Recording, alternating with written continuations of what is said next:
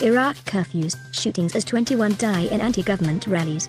Baghdad Iraqi security forces imposed around-the-clock curfew in Baghdad and fired live rounds and tear gas on Thursday to disperse anti-government protests that have gripped the country since earlier this week, killing 21 people so far.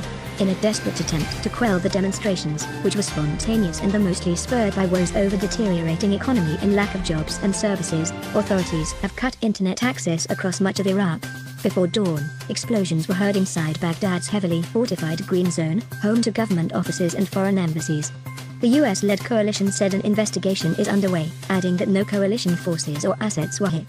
So far, at least 21 people have been reported killed and hundreds have been wounded since the violence and clashes between security forces and anti-government demonstrators first erupted on Tuesday. 12 people were killed late Wednesday in the southern cities of Nasiriyah, Kut, and Amara. The dead were protesters and one policeman, according to security officials. Iraq's state news agency said Parliament Speaker Mohammed al-Halbousi invited representatives of the protesters to come to the Parliament building to discuss their demands. The protests, concentrated in Baghdad and in predominantly Shiite areas of southern Iraq are mostly spontaneous and without political leadership, staged by disenchanted youth demanding jobs, improved services, such as electricity and water, and an end to Iraq's endemic corruption. They have organized the protests on social media and have gradually escalated their demands and now want the government to resign. No political party has so far joined the campaign. The demonstrations and the unrest are the most serious challenge to Prime Minister Adel Abdul Mahdi's year-old government, which has been caught in the middle of US-Iran tensions in the Middle East. Iraq is allied with both countries and hosts thousands of US troops, as well as powerful paramilitary forces allied with Iran. Also Thursday, Iraq's foreign ministry summoned Iran's ambassador to Baghdad to denounce his threat that Tehran would retaliate to an American attack anywhere in the world, including in Iraq.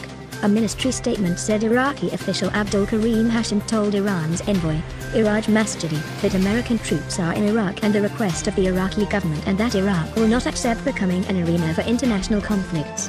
Masjedi recently told Iraq's Dijla TV that if the Americans attack Iran, Tehran will strike back anywhere, including in Iraq. The Baghdad curfew was announced early Thursday following a meeting of Iraq's top leaders to discuss anti-government protests that have engulfed the country. Authorities say it is meant to protect general peace and protesters from infiltrators who committed attacks against security forces and public property. It excludes travelers to and from the Baghdad airport and Iraqi Airways said flights were operating as scheduled. Baghdad's main streets were largely deserted Thursday morning. In central Tahrir Square, hundreds of young protesters were gathered, and police fired tear gas canisters every now and then.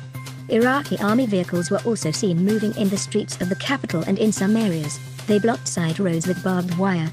Whether there is curfew or not we are going to continue, shouted one protester in Tahrir Square. When the demonstrators tried to reach a nearby bridge that leads to the Green Zone on Thursday morning, Iraqi security forces started shooting above the crowd from automatic rifles and also fired tear gas, according to a cameraman at the scene. NetBlocks, which monitors cybersecurity and internet governance, reported that internet access was cut off across much of Iraq and social and messaging apps blocked amid the growing unrest. The US-led coalition, which has a presence on the ground in Iraq, issued a statement saying it is monitoring the protests and added that we call on all sides to reduce tensions and reject violence, as the loss of life and injuries among civilians and Iraqi security forces was deeply concerning. Coalition spokesman Colonel Miles B. Caggins III said that explosions were heard in the Green Zone before dawn Thursday. He said Iraqi forces were investigating and that no coalition facility was struck. Coalition troops always reserve the right to defend ourselves. Attacks on our personnel will not be tolerated, he said. An Iraqi security official said two mortar shells hit the green zone, falling on open space and not causing any casualties. The official spoke on condition of anonymity in line with regulations. Dozens of university graduates unable to find jobs in the corruption-plagued but oil-rich country have also joined the rallies. Politicians denounced the violence and at least one, influential Shiite cleric Muqtada al-Sadr, called for an investigation. Earlier on Wednesday, at least seven people were killed and dozens were wounded in clashes that spread across Iraq despite a massive security dragnet mounted by the government in an effort to quash the economically driven protests. On Tuesday, protests had left two dead underscore one in Baghdad and another in the city of Nasiriyah underscore and over 200 wounded. Curfews were also announced in some of the southern provinces but they were not being observed.